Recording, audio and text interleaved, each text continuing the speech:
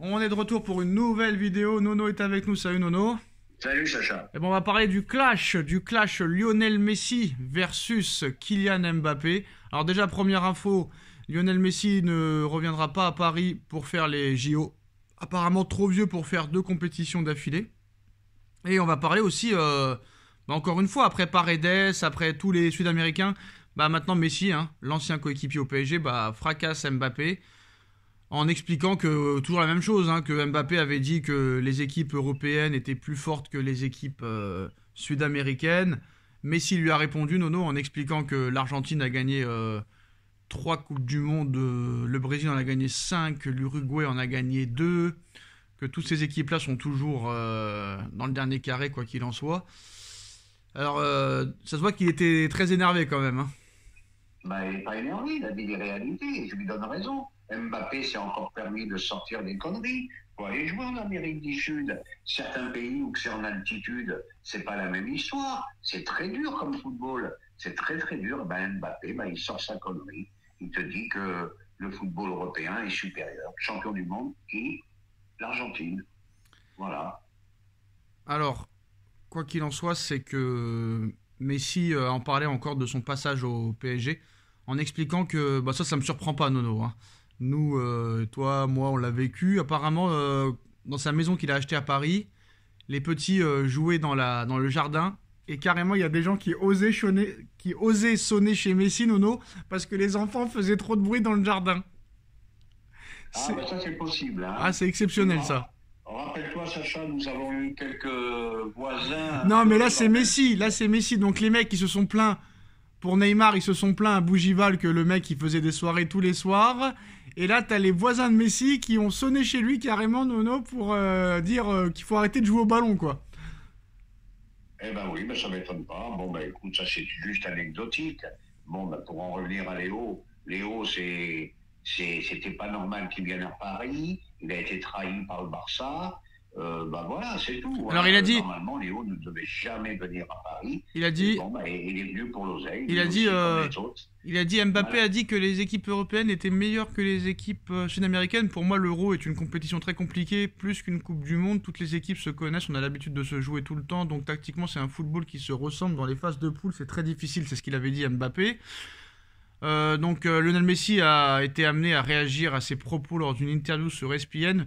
Tout le monde donne la priorité à son tournoi, réagit euh, la Poulga. Évidemment, l'Euro est très important et rassemble les meilleures équipes, mais il laisse de côté l'Argentine, triple championne du monde, le Brésil, quintuple champion du monde, l'Uruguay, double championne du monde. Il y a beaucoup de champions du monde qui ne peuvent pas dire que c'est le tournoi le plus difficile. Il y a une raison pour laquelle tout le monde veut être champion du monde. Donc une réponse euh, tout sauf polémique, mais il dit l'avantage que nous on a, qu'on a nous euh, les Européens, c'est qu'on joue entre nous des matchs de haut niveau. Ça veut dire que eux ils jouent pas des matchs de haut niveau entre eux. Eh ben voilà, il a craché sur le football sud-américain. Mbappé, voilà, il l'avait déjà fait une fois, il le refait une deuxième fois. Je lui dis deux, trois mots, va jouer au Pérou, va jouer au machin. Tu vas voir, c'est pas une promenade de santé. La Copa, c'est très très dur, c'est très physique, c'est très compliqué. il y a quelques sources encore qui ont, euh, confirmé euh, les soi-disant infos là, de Mohamed Bouafsi sur Vinicius. Et apparemment, on nous explique que Paris va bien tenter Vinicius euh, cet été, Nono et qu'une grosse offre est en préparation, mais pas pour le moment, peut-être plus euh, mi-juillet, fin juillet. Ah bon, on sait que le PSG est capable de tout. Exemple Neymar, Messi. Donc euh, le PSG, ça serait pas surprenant, hein. Ça serait pas surprenant qu'il nous fasse un coup de folie cet été. Hein. Tu, tu, tu, tu, es pour l'arrivée de Vinicius? Ah bon, on en aurait bien besoin. Voilà, c'est un joueur de très très haut calibre. Et je pense que vraiment, là, tu as un joueur qui, on peut dire, voilà le remplaçant de Mbappé.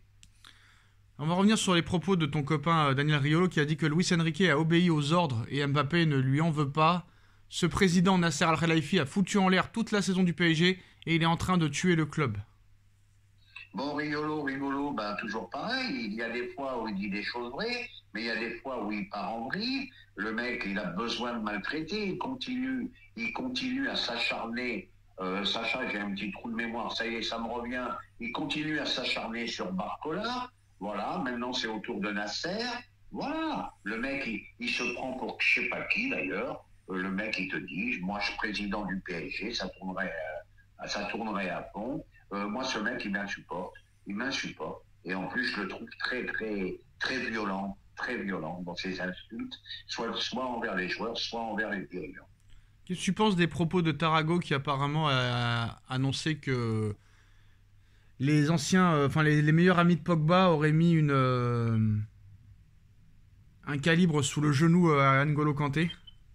Eh ben c'est vrai, ça on le sait. C'est pour ça qu'N'Golo Kanté n'est jamais venu à Paris. Voilà, voilà la raison pour laquelle Kanté n'est pas venu. Quand Mino Raiola est mort, paix à son âme, les copains à Pogba ont dit il faut récupérer tout le monde. Ils voulaient transférer Pogba au PSG, Nono.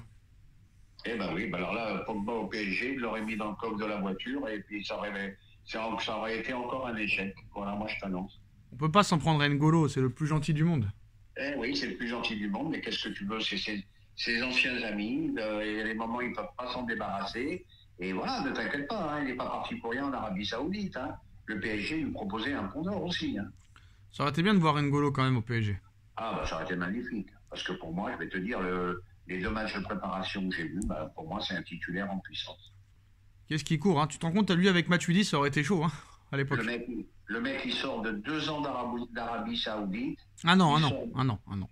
Un, an Il sort d'un an d'Arabie Saoudite, il était blessé auparavant, et le mec, là, je le vois, il court de partout, il est partout. Phénoménal, pour moi, phénoménal. Donc euh, voilà, on a vu euh, que José Mourinho a signé à Fenerbahce, Nono et que Robert, Lewandowski pourrait aller à, à. Euh, est-ce que l'arrivée de Mourinho, ça peut faire de Fenerbahce une grosse équipe ou est-ce, que le mec va encore là-bas pour se faire virer dans un an et toucher encore de l'oseille? Oh, mais Il va encore toucher un max d'oseille. Je vois pas ce qu'il a été foutu là-bas d'ailleurs. Club, très beau club, très belle ambiance, d'accord.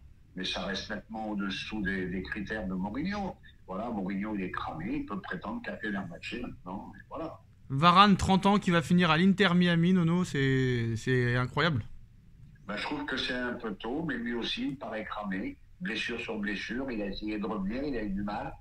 Et puis il a des problèmes mentaux aussi, il a dit, hein, la santé mentale avant tout.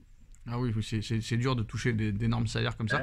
mais, apparemment, eh, Nono, Nono, apparemment, hein, apparemment, euh, apparemment, apparemment, tous ceux qui sont à Manchester euh, ressortent très affectés. Hein. Oui, oui, très affectés, mais ressortent avec un pactole pas possible. Moi, je suis surpris par ça. Je suis surpris. Apparemment, Manchester, euh, c'est pas habitable. Hein. Ben, oui, mais il pleut beaucoup. Hein. Attention, c'est pas bon pour. Non, il paraît qu'il n'y a rien à faire. Il paraît. Di Maria l'avait dit. Euh, beaucoup de gens l'avaient dit qui sont passés par United, donc voilà. Voilà, ben, malgré tout, malgré tout, ils sont pas à Hein. Ah Nono, aujourd'hui on fête les. tout ça. Nono, aujourd'hui on fête les 6 ans euh, de la bagarre d'Orly Caris Bouba. Bon anniversaire. Merci. Allez, ciao les gars. Allez, frangin.